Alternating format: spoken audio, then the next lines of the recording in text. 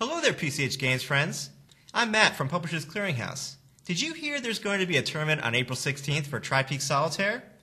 It's a popular card game that's a race against the clock to empty the three peaks of cards while scoring the most points. But you don't have to play this game the old fashioned way.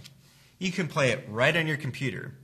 You can even win up to $1,000 in the upcoming tournament.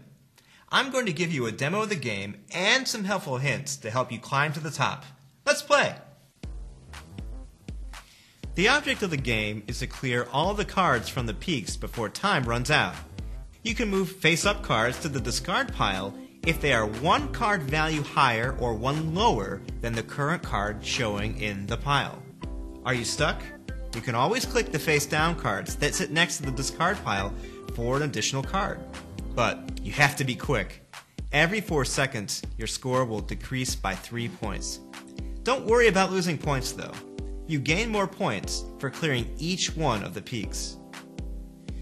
It's a fun and challenging game, and the more you play, the more you master it. Here are some helpful hints.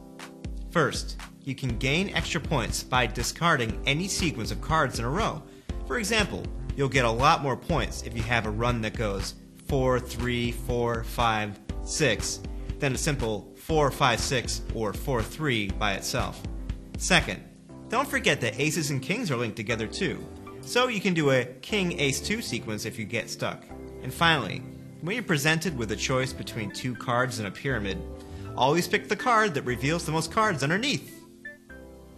We hope that these instructions and tips help you feel like a real card shark for the tournament on April 16th. Good luck and have fun!